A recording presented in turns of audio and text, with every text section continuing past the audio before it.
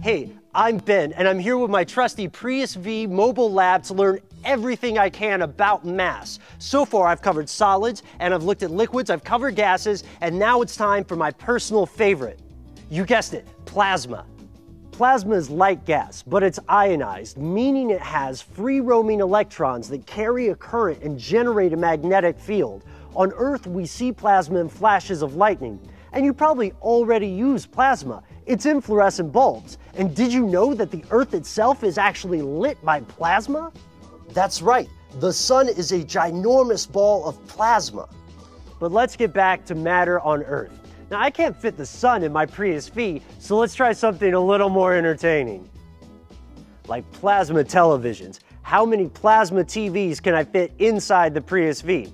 It depends on the type of TV we're using, and we've decided to mix it up. I've got loads of different types of televisions here, so let's give it a shot.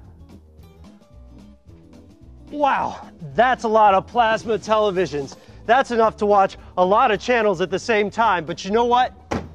I'll probably be too busy driving.